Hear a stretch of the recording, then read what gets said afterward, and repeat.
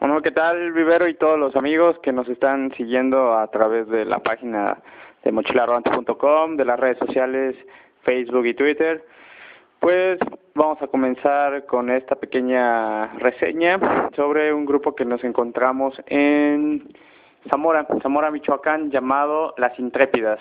Aquí mi buen compañero Juan Contreras nos va a hablar un poco más de ellas. Bueno, eh, estas chicas intrépidas eh, ruedan todos los martes a las ocho y media de la noche.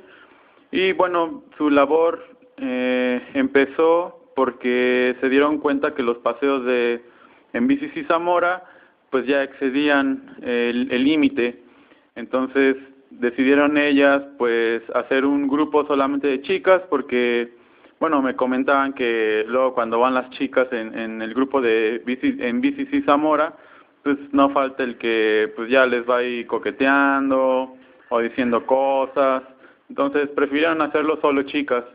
Y bueno, pues eh, la idea de ellas es también que pues las empiecen a ver en la calle, que, que los conductores o que los mismos peatones pues acostumbren a ver chicas en la calle, que no necesariamente tengan que ir eh, pues con un pantalón y nada, nada escotado, nada descubierto, para que puedan rodar y pues bueno, ellas se sienten más cómodas andando de shortcito, con una blusa más ligera, porque pues acá hace un poco de calor.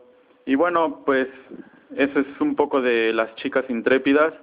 Eh, conózcanlas, están en, su, en las redes sociales, en el Facebook como intrépidas. Bueno, pues este grupo eh, va comenzando, como dijo Juan, eh, trata de enfocarse más hacia las chicas, aunque pues, es libre, puede rodar quien quiera con ellas. Van chavas desde los 15, 14 años hasta mayores. Entonces es muy agradable. Ellas plantean que todas sus rodadas sean totalmente urbanas y que no sea nada más recreativo, sino enseñar cómo andar en la calle. Bueno, esta fue una pequeña cápsula, esperemos que les haya gustado, nos vemos en el siguiente.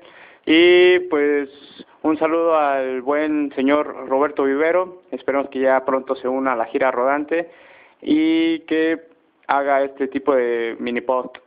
Ahí nos vemos. Adiós.